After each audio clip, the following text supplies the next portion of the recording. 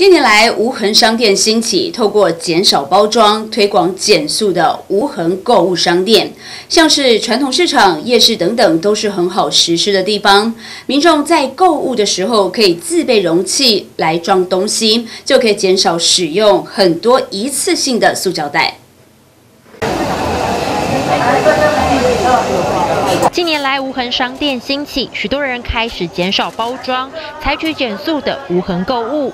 其实只要有心，自备容器就可以当个行动无痕人。从传统市场到夜市，都是裸装食材的场所。只要自备购物袋或是环保盒，就能减少很多一次性的塑胶袋使用。我们现在台东观光夜市陆续都会有客人带，就自备一些比较环保，自备一些自己的呃环保餐具来装食物，就是比较环保。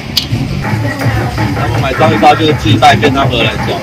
民国九十一年起开始实施限塑政策，其中塑胶袋的限制也成为鼓励民众改变购物盛装的方式。只要自备容器以及袋子，就能达到垃圾源头减量的效果。记者陈安如台东市报道。